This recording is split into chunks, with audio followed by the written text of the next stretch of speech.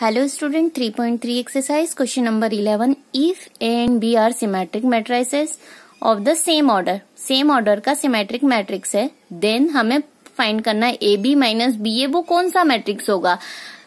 Skew symmetric होगा symmetric होगा zero matrix होगा या आइडेंटिटी ये चूज़ द करेक्ट है। तो हमें पहले चेक करना पड़ेगा, तभी हमें पता चलेगा कि वो कौन सा मैट्रिक्स होगा। तो हम सॉल्यूशन करते हैं नाउ द कंडीशन गिवन है हमारे पास given the condition is A and B are symmetric मतलब अगर ए सिमेट्रिक है तो ए डैश ए के इक्वल होगा बी सिमेट्रिक गिवन है तो बी डैश बी के इक्वल होगा, ये ऑलरेडी गिवन है। नाउ द अब हमें इसके बारे में फाइंड करना है ए बी माइनस बी है। हम डैश लेके चल रहे अब हम इस डेश को ऐसे सेपरेट कर सकते हैं, जैसे यहाँ पे लिखा ए माइनस बी डेश हो तो ए का डेश माइनस बी डेश अलग अलग लिख सकते हैं।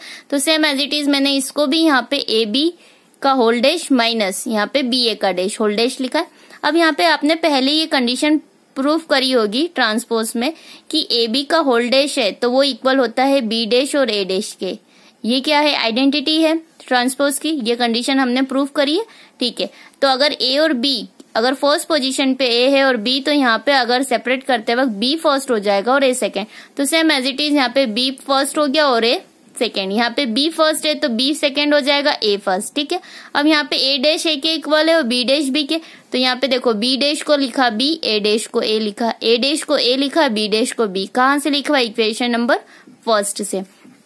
इन दोनों में से मैंने क्या कॉमन ले लिया? माइनस ले लिया? ठीक है।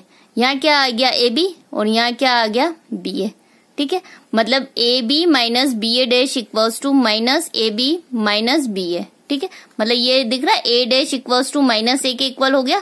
तो ये कौन सी कंडीशन है? स्क्यू सिमेट्रिक की। इट मीन्स ये हमारे लिए क्या हो गया? A B minus B A is a skew symmetric matrix it means answer क्या हो गया?